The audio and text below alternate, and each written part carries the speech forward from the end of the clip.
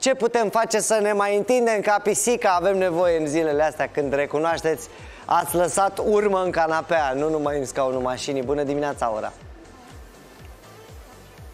Bună dimineața, Dani! Vorbim despre prevenția durerilor de spate atunci când călătorim, când avem călătorii lungi cu mașina sau avionul. Alexandru Ilie are câteva tipsuri prețioase. Bună dimineața, Alex! Ai găsit câteva soluții, aș spune eu, chiar ingenioase. Mulțumesc foarte mult! Bună dimineața, Ora! Bună dimineața tuturor!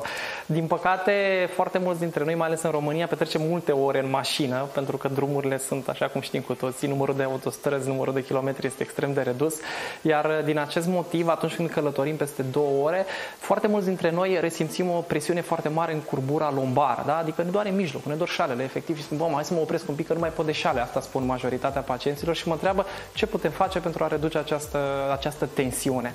Și tocmai din acest motiv, primul lucru pe care vreau să vi-l spun ca și sfat este să luați un prosop, să rulați, îl prindeți cu un elastic de bani, că toată lumea are elastic, nu bani, așa cred că toată lumea știe acest lucru, așadar vă luați un astfel de rulou și îl uh, realizați ca și uh, dimensiune conform anatomiei voastre. Deci dacă sunteți mai voluminoși, luăm două prosoape. Dacă sunteți mai slăbuți, așa cum este aura, o să iau un prosop micuț. Da? Ce facem cu el? O să-l punem exact în regiunea lombară, da? adică aici e la mijloc și ne așezăm pe scaun frumos, tocmai pentru că acest rulou va avea ca obiectiv să ne uh, asigure păstrarea curburii fiziologice și astfel stresul provocat pe coloana lombară să fie redus. Așa prevenim, dar cum tratăm? Ei, bine, data asta va trebui să începem să facem gimnastică, ca de fiecare dată. În primul rând, ceea ce recomand tuturor este să facă pauze, să nu călătorim mai mult de două ore dacă este posibil. Deci dacă mergem până la munte departe și cum facem noi câte 5 ore, la două ore ne oprim un pic și facem o scurtă pauză cu un exercițiu. De ce vreau să facem acest lucru? Vedeți în această imagine ceea ce am pregătit și sunt sigur că băieții din nou o să râdă de mine pentru că o să facem de acum pauză pentru a ne întinde psoasul. Asta va fi, asta va fi mesajul psoasul, meu. Okay. Psoasul, așa Cred se numește acest mușchi. anatomie, El este dar- principalul mușchi care provoacă durerile de spate. El are inserții în zona lombară și pe trochanterul mic, adică aici pe zona inghinală. Prin urmare, vrem să-l întindem, pentru că multe ore petrecute în așezat duce la scurtarea acestui mușchi care ulterior generează tensiuni lombare. Și atunci, singurul exercițiu simplu pe care poți să-l faci când ești pe DN1, de exemplu, că și așa stăm acolo, este să spui așa un picior pe roata de la mașină și efectiv să faci o ușoară fandare. Te duci spre înainte și astfel, cum vedeți și în această imagine, acest mușchi este pus într-un regim de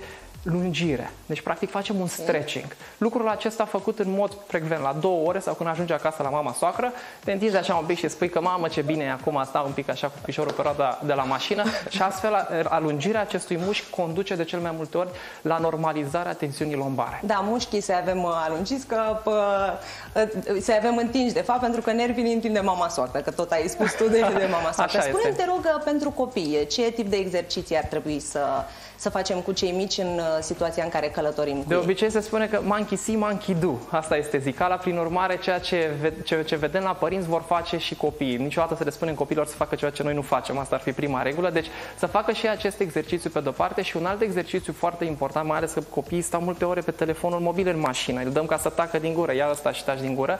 Atunci ce se întâmplă este că avem o tensiune foarte mare toracală. Și atunci copiii vor avea nevoie să facă un exercițiu de alungire și reposturare toracală. Adică efectiv îl pui și spui, hai să ne întindem mă tată un pic așa, după ce călătorești vreo două ore și astfel poți să normalizezi din nou tensiunile musculaturii paravertebrale de data aceasta și îmbunătățești practic postura copilului. Ne-ai vorbit despre accesorii, uh, ni le-ai arătat mai devreme. Spune-mi, te rog, am văzut în aeroport mai ales foarte mulți oameni care poartă acele pernuțe, nu? Care uh, îi ajută să doarmă mai bine în avion. Uh, Sunt utile? Ne ajută, în, uh, ne ajută p- pentru coloană, să spunem? Cu siguranță că da, aceste perne pe care noi le punem și sunt o industrie întreagă, le putem utiliza cu scopul de a normaliza tensiunile uh, cervicale. Atunci când noi practic călătorim, avem nevoie să nu avem un stres permanent de origine mecanică pentru că musculatura asta este activată. Și atunci aceste pernuțe care au și suport la bărbie, da? adică se prind aici și stai așa cu capul pe ele, descarcă practic în mod neurologic musculatura uh, posterioară cervicală și astfel practic nu mai resimți acele tensiuni. Și dacă adormi, că se întâmplă să mai și adormi,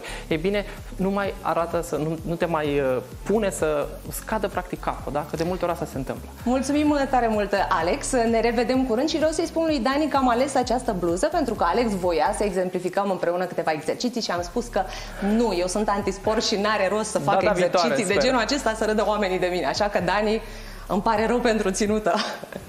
ne întoarcem la voi. Deci tu ai luat o ținută antisport, cum ar veni, ca să nu te poată lua nimeni în brațe, am înțeles.